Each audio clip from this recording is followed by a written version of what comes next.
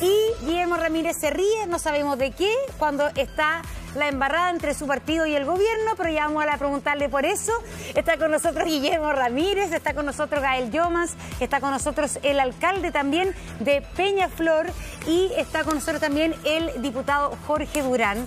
A ver, Guillermo Ramírez, era inevitable empezar por usted este panel de políticos, porque el día de ayer José Antonio Cast dijo en un video que fue difundido en redes sociales, basta de la dictadura sanitaria. Pero quizás sorprendió mucho más cuando fue el presidente de su partido, Javier Macaya, quien pidió el fin de las cuarentenas y el fin del estado de excepción. ¿Usted concuerda con el presidente de su partido o no?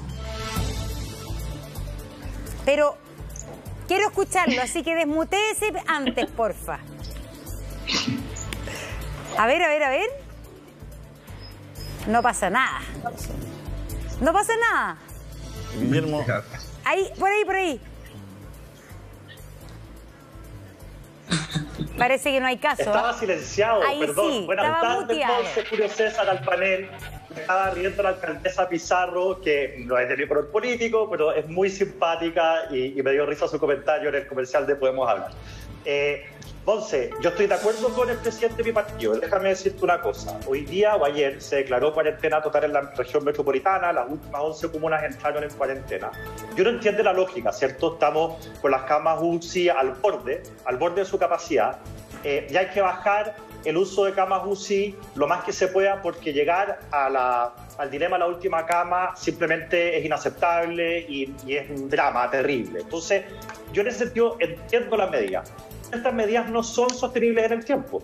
No podemos estar permanentemente teniendo cuarentena hasta el infinito. Tiene que haber un momento en que esto se acabe. ¿Por qué? Porque daña a los niños en su, en su aprendizaje. Eh, piensa que, de acuerdo a todos los informes, eh, gran parte de los niños de, este país deberían haber repetido el año pasado porque no aprendieron ni siquiera lo indispensable. Ahí eso incluye a mis niños y probablemente a los niños de muchas personas que nos oyen. Los comerciantes agradecen los bonos y las ayudas, pero solamente van a surgir las pymes, sé que pueden salir a trabajar y vender, en fin. ¿Para qué vamos a seguir hablando todos los contras que tienen las cuarentenas, la, la salud mental, etcétera? Entonces, esto se tiene que acabar en algún minuto. ¿Y cuándo se tiene que acabar? Bueno, cuando las vacunas estén a disposición de todos. Porque antes no estaban a disposición de todos por un tema de edad. El 30 de junio, cuando se acabe el estado de excepción, si es que hay alguien que no está vacunado, va a ser porque no quiere, no porque no puede. Y nosotros creemos que ya llegó el momento, estando las vacunas disponibles para todos, de apelar a la responsabilidad personal, de hacer campañas de vacunación mucho más eh, atractivas eh, y que empecemos ya a vivir esta nueva vida que nos va a tocar vivir, porque el coronavirus va a estar el próximo invierno y el siguiente y el siguiente. Y no podemos estar todos los años cuarentenándonos. Aquí la solución pasa porque las personas, igual como ha ocurrido con otras enfermedades, vaya, se vacune eh, y podamos apelar hacia la responsabilidad personal y no dañar la economía, que afecta principalmente a los más pobres, no dañar a los niños, etcétera. Nosotros no estamos diciendo que el estado de excepción se acabe hoy. Nosotros entendemos y Pero, ¿y apoyamos la medida que tomó el gobierno ayer. Y cuando dice Pero- que, que, que finalmente se vacune a toda la población, eh, ¿concuerda entonces que la cuarentena está bien ahora, pero que debiera terminar el 30 de junio? Sí, y deberá terminar eh, el estado de excepción el 30 de junio, porque el 30 de junio, incluso los menores de edad ya van a tener la posibilidad de estar vacunados. Nosotros entendemos que en el pasado eh, habían cuarentenas porque no todos se podían vacunar. Yo, de hecho, voy a cumplir las dos semanas de mi segunda dosis recién el martes. Eh, pero, pero va a ocurrir ya el 30 de junio que el que no esté vacunado va a ser porque no quiera, no porque no pueda. Yo no comparto esas expresiones un poco extremas de hablar de dictadura sanitaria. Las medidas que se tomaron, se tomaron porque había que tomarlas. Pero creo que estamos acercándonos al fin de ese momento y creo que ya tenemos que empezar a ver vamos a hacer en la siguiente etapa, que es una etapa sin cuarentenas y sin estado de excepción. No puede la excepción transformarse en la regla general y para siempre. Gael. Sí, o sea que la situación es crítica y a mí me llama la atención que Guillermo Ramírez plantee y entiendo que su partido plantee que de aquí a fines de mes vamos a estar resueltos. O sea, es como escuchar y recordar lo que está diciendo ahora nomás Bolsonaro en su país, que prácticamente por estar vacunado ya no es necesario ni siquiera usar mascarilla. Es como que lo que dijera la OMS, que lo dijo la OMS, no lo digo yo. O sea, cuando señala que en ningún país del mundo la vacuna ha sido la única solución, es como que le entra por una oreja y le sale por la otra. Entonces, yo, mi llamado es a la responsabilidad en esto, o sea, y sobre todo porque la UDI es partido de gobierno. Yo veo además por parte del gobierno este desorden, esta improvisación es sumamente compleja recibirla hacia la ciudadanía. ¿Cuál es la señal que se está enviando? Entonces, cuando vemos los malls llenos, como lo estamos viendo ahora recién en las imágenes, y escucho comentarios como el del diputado Ramírez y el partido de la UDI señalando lo mismo, obviamente que me preocupa y yo creo que esa debería ser además la preocupación que deberíamos compartir todos quienes tenemos hoy día un rol en la política y hacer un llamado de atención en esta materia. Además, ojo, porque nosotros discutimos varias medidas eh, de apoyo social y económico que dependen del estado de excepción y lo digo sobre todo por el postnatal de emergencia. Cuando discutimos sobre su extensión, le propusimos al gobierno y a los partidos de gobierno que no dependiera del estado de excepción. Y ahora me salen con esto. O sea, vamos a tener que presentar otro proyecto de ley para que no dependa, sino que ahora dependa de la alerta sanitaria. O sea, la, la, incertidumbre que generan comentarios como eso, la irresponsabilidad además de quienes lo están emitiendo, debería por lo menos llamar a la preocupación de quienes son parte de su conglomerado. ¿Cómo lo ve el alcalde de Peñaflor, alcalde? Hola Monse, muy buenas tardes, un saludo cordial también a Julio y por supuesto a, los miembros del panel.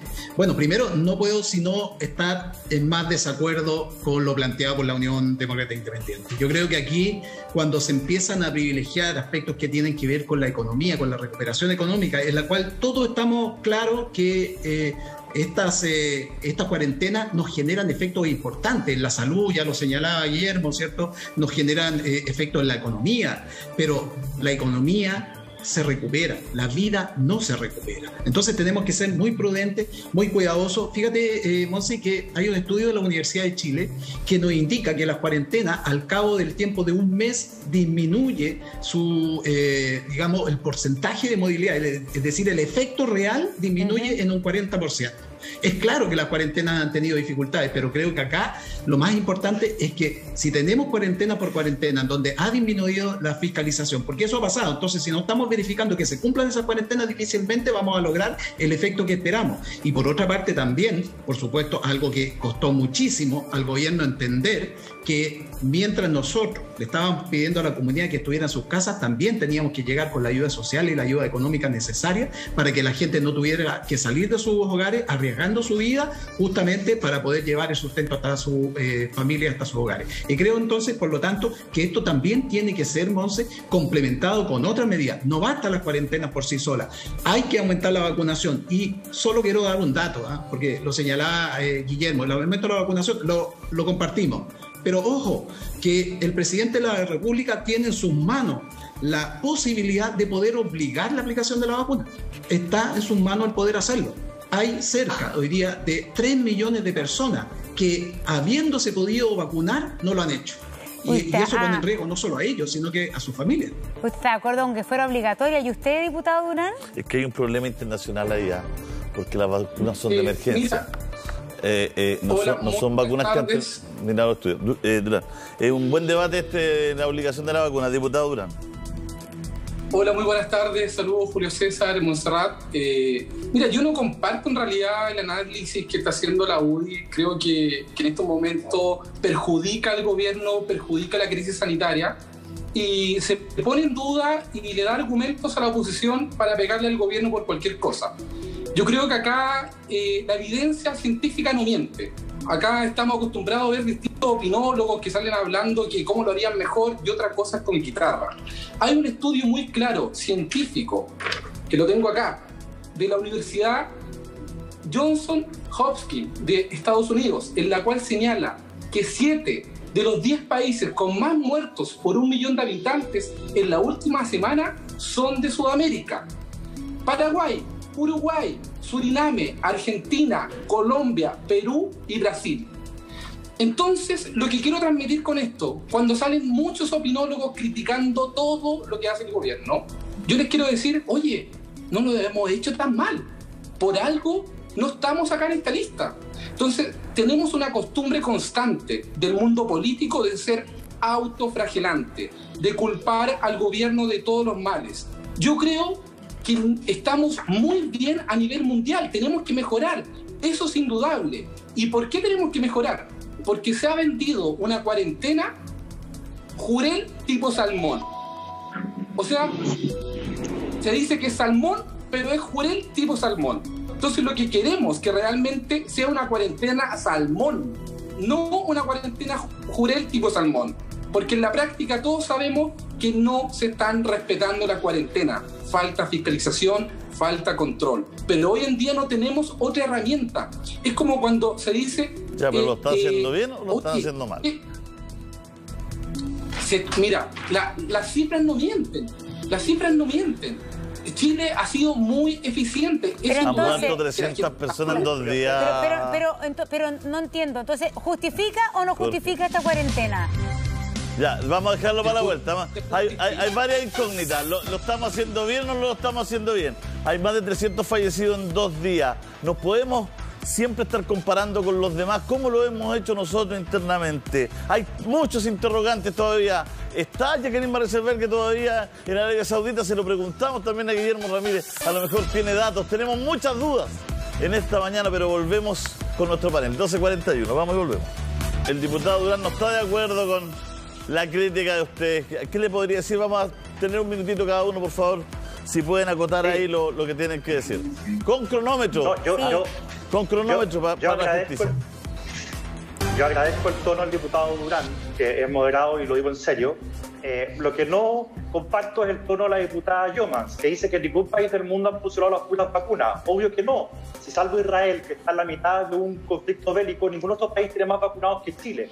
Pero lo que sí sé es que hay países con menos vacunas que Chile y que haciendo responsable a la población han tenido mejores resultados que nosotros. Ahí hay varios estados de Estados Unidos, Australia, Europa, donde están mejor que nosotros dándole más responsabilidad a las personas. Me dice Gael Thomas que soy un irresponsable por no querer extender el estado de excepción. Gael, solamente te recuerdo que el 9 de marzo, cuando se votó el actual estado de excepción, tuvo votaste en contra. Es decir, si tu posición hubiese ganado en el Congreso, hoy día no tendríamos estado de excepción. Y entonces se me dice a mí que ahora que hay más vacunación y que las cosas están mejor, soy un irresponsable, simplemente no se entiende. Y tercero, he dicho que estoy de acuerdo con las medidas que ha tomado el gobierno de Pulsinar, pero esto se tiene que acabar en algún momento. Yo estoy diciendo cuál creo yo que tiene que ser ese momento. Y el momento en que se acabe esto es cuando todos los chilenos Perdón, pero es un minuto cronometrado. ¿Cómo fue eso, Gael, que le dice el diputado Ramírez que usted votó en contra del estado de excepción y ahora está en contra de que, se, de que no haya estado de excepción?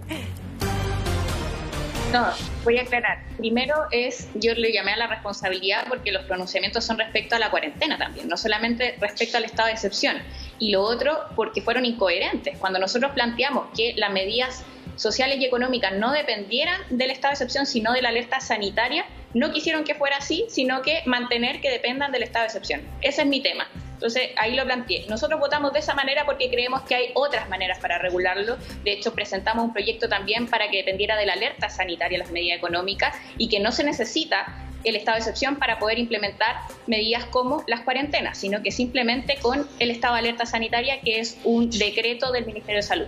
Y por otra parte, voy a insistir en esta materia, y yo ahí respondiéndole al, al diputado Durán, o sea, creo que hay que ver la realidad, un poquito de conexión o sea, eh, no estamos bien, diputado Durán. Es cosa de ir a decirle, lo invito a decirle a los familiares de las personas que murieron que estamos súper bien, como dice usted, o a los trabajadores de la salud que están agobiados en el Terrible este el cronómetro hoy día. Oh, Terrible el, cronómetro hoy día. Nos, el, perdonan. el mejor panel del bien, el otro viene el panel malo que tuvimos y ahora justo el panel bueno con, con poco minuto alcalde. Da rabia. Alcalde, vamos a, vamos a hacer todo el, sí, vamos a hacer todo el esfuerzo, eh, Julio. Bueno, eh, quiero complementar primero, yo, eh, el derecho a la vida, el cuidado de la vida de las personas es lo más fundamental. Lo demás se recupera, la economía se recupera, los temas sociales se van a recuperar, la vida, eso es lo que nos debe primar. Y creo que junto con las cuarentenas tenemos que fortalecer, primero el aumento de la vacunación, ya lo señalaba anteriormente, las campañas de autocuidado, el aumento del testeo, la fiscalización. Eh, Julio, eh, Julio César, Monse, parece que hoy día no estuviéramos en cuarentena muchas de las comunas porque no se hace fiscalización y por supuesto también el apoyo económico. Parte de aquello, parte para lograr este último objetivo, ha sido el recientemente aprobado IFE eh, universal o, extendido que permite llegar con más recursos a muchas familias que lo necesitan. Mire, le sobraron, le sobraron 12 segundos, alcalde. Vamos con el, minuto para diputado Jorge Podríamos hacer como pasapalabra, traspasarle quizás los 12 segundos. Pero se viene pronto eso, lo tenemos que implementar. Hasta ahora tenemos cuatro segundos para cada uno. Les vamos a dar un segundo para cada uno para que sientan lo que sintieron los independientes. Eh, nada, ¡Correcto! Me propasé. Me propasé el día, me propasé el día viernes. Eh, diputado Durán, diputado Durán, me propasé. Diputado Durán, un minuto. Mira, eh, Yael, no corresponda, no corresponde que instrumentalices la pérdida de vidas. ¿Hasta cuándo la izquierda juega con la lamentable situación de la pandemia para golpear al gobierno? Nadie está feliz con la pérdida de vida. Pero otra cosa es con guitarra tener el peso de manejar esta pandemia. Los datos científicos no mienten. Chile es uno de los mejores países de Latinoamérica que ha manejado esta pandemia. Debemos de mejorar, eso nadie lo discute. La cuarentena obviamente daña la salud de las personas. Es como cuando se dice el cáncer. Lo único que tenemos hoy en día es la quimioterapia. Es, dolorosa, es incómoda, tiene muchas debilidades, pero es lo único que hay. Tenemos que ver cómo mejoramos y no criticar. Ayudar a contribuir a salir de esta crisis. También le sobraron seis segundos y se lo vamos a guardar para un próximo programa. Oye, oye, pero, pero, pero, pero un sí, un sí, un no, un sí, un no, un sí, un no. ¿Están con que, que siga el estado de excepción? ¿Sí o no? Dedo, dedo para arriba, para abajo estado de excepción, para arriba, para arriba, para arriba estado de excepción. Y, y ya para abajo. ¡Oh! La U y el Frente Amplio Unido jamás serán vencidos.